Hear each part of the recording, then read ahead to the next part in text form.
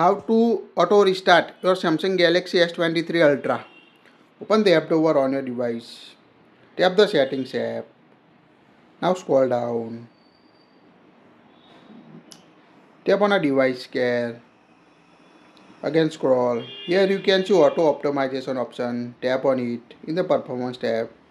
Now here you can see auto restart. By default tap on it. Now you can see two options restart when needed or restart on schedule. So restarting your phone automatically you can use two options. Toggle on restart when needed. So your phone will restart automatically when performance issue are detected. If you want to set a schedule for specific time to automatically restart your Samsung S23 Ultra just toggle on the second option restart on schedule. Now select the day Sunday Monday Tuesday, Wednesday. To select the day, tap on a time. Enter the time you want to set to automatically and tap on a done to automatically restart your S23 Ultra device.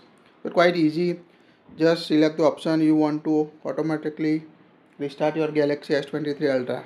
That's it. If you like it, share it.